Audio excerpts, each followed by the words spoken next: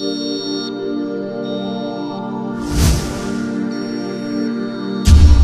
الله الرحمن الرحيم اقترب للناس حسابهم وهم في غفلة معرضون. ما يأتيهم من ذكر من ربهم محدث إلا استمعوه وهم يلعبون. Salam Akhi Salman Tadi minta untuk beri ceramah Realiti umat Islam di Malaysia Malam ni pula tu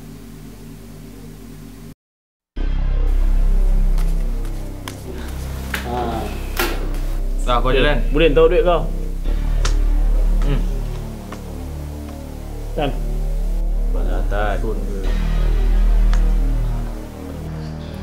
Tak cukup dengan tu.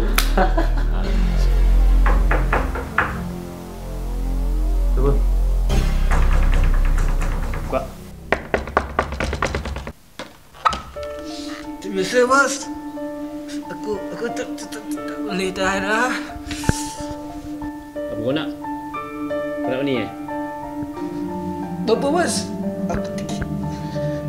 Aku aku perlu sekarang. Kau nak ni? Bawa sini RM200 Wah, mahal sangat bos. Selalu aku ambil 150 lah. Ni mahal sampai 200. Apa bos? Boleh lah, 150 Tak ada duit? Pergi belah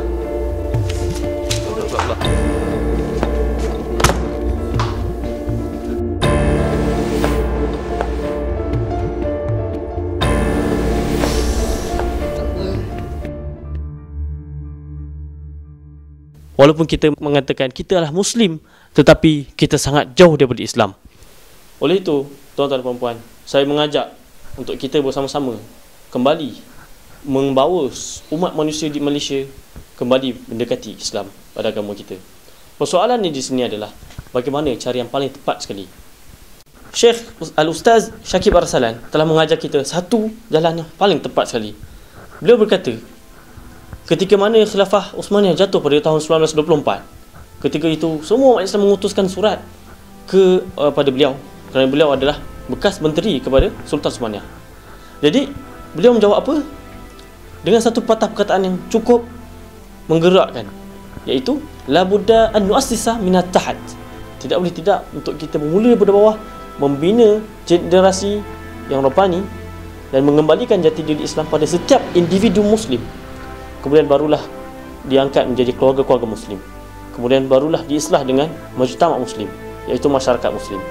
Dan mujtama masyarakat masyarakat muslim ini bersatu dan membentuk satu negara Islam yang aman dan seterusnya. Dan negara-negara Islam yang wujud bersatu dan membentuk satu khilafah yang begitu agung pernah pada zaman dulu.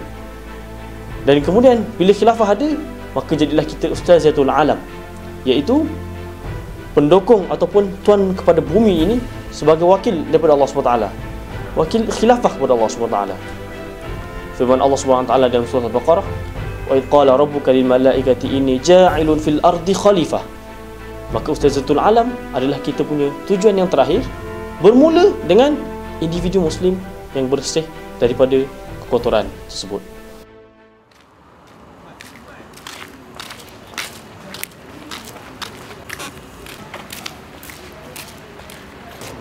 Itu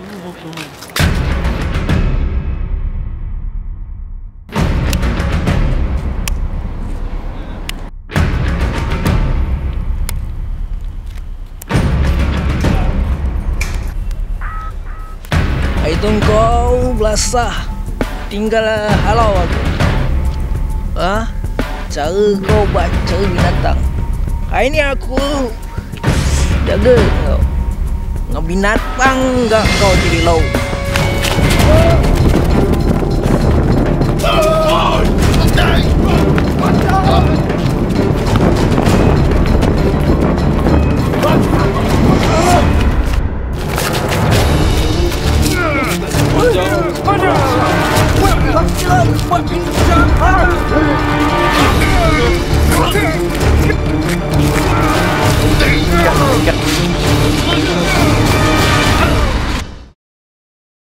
Salman. Macam mana tentang ceramah yang enta bagi hari tu? Okey. Alhamdulillah sambutan menggalakkan. Ustaz Skandar. Kalau kita cakap kan, kita nak bina peribadi muslim, kemudian keluarga muslim, masyarakat muslim dan negara Islam dari khilafah Islam dan sebagainya. Tapi kita nak mula daripada peribadi muslim kan. Hmm.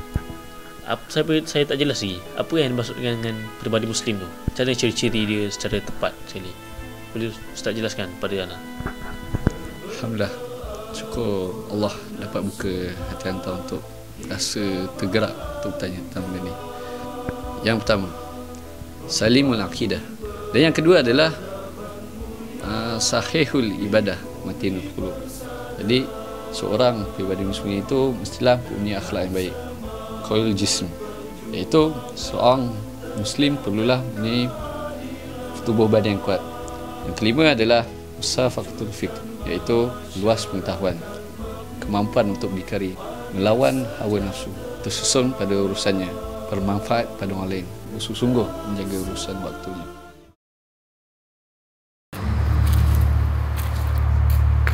Eh kenapa tu Allah, Allah. La haula wala quwwata illa billah. Kenapa ni? Allah.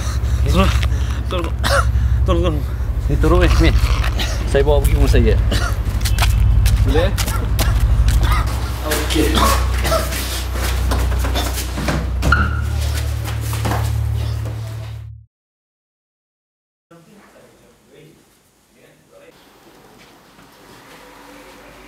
susah ni dari eh. Macam mana nak makin pulih? Alhamdulillah Ustaz Dah sihat sikit. Terima kasih banyak Ustaz. Susah-susah. Biasa je Eh tapi Saya tak kenal lagi eh. Nama saya Iskandar. Nama saudara? Nama saya Salman. Salman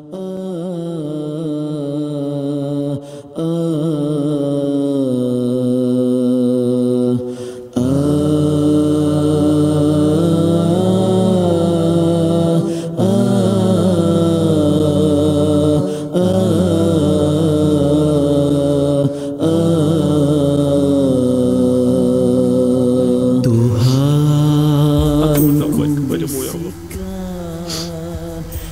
Andai dosaku terlalu besar Sehingga aku tidak diampunkan lagi sanggup menerima hukumanmu di dunia ini Sebagai balasan. Ampunkanlah aku ya Allah? Izinkan aku bertaubat dan berubah ya Allah. Ya Allah Ketika zaman muda ku ya Allah Dengan dosa ya Allah.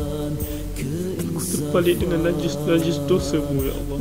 Inilah hijrahku ya Allah. Inilah hijrahku untukmu ya Allah Inilah hijrahku Terimalah ya Allah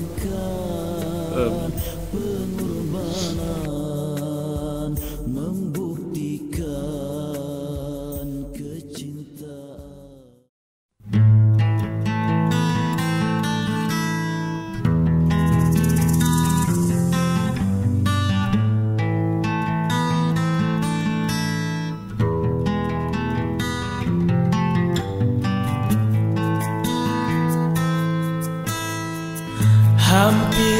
aku hanyut kerana rindu pada harta yang pasti rebut dan lenyap di sini.